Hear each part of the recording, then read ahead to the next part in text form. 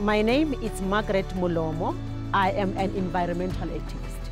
Environmental justice is close to my heart because it helps um, community members, even most of the people who knows nothing about environment, especially when coming to the mining industry. Specifically, when coming to platinum pollutants, you name them. It's air pollution, it's water pollution. Our perennial small rivers getting polluted. Our big rivers are getting polluted. We are experiencing acidic rain, which is something that we don't even know. Climate change, it's too hot. Our crops are becoming dry. We are producing nothing. The biggest challenge that, we, that, that, that we face as women, we have a problem of um, forceful removal, of relocation of graves, forceful removal um, uh, of uh, villages. So you ask yourself, we women, we bear all this burden because we are the one who are active almost for the whole day. As a woman of, environ of environmental activist, when we approach these mining bosses, pushing them to do the right thing, to comply with our environmental area, we don't get a success.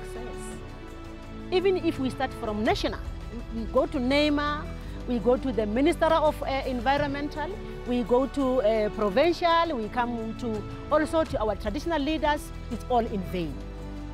What I want to see as an environmental activist, if the mining industry can mine responsibly, maybe I will rest. As an environmental activist woman, my strength comes from women of Mokopane. We are pushing this fight of environmental justice together. Women from the village need to be respected. I want this message to go to the traditional leaders.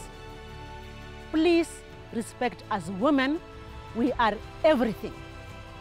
In fact, everything in the world is because of a woman. A woman is a caring person. So please, respect us.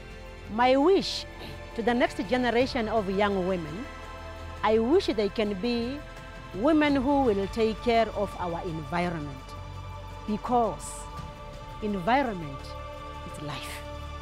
My definition of women's power is to give birth.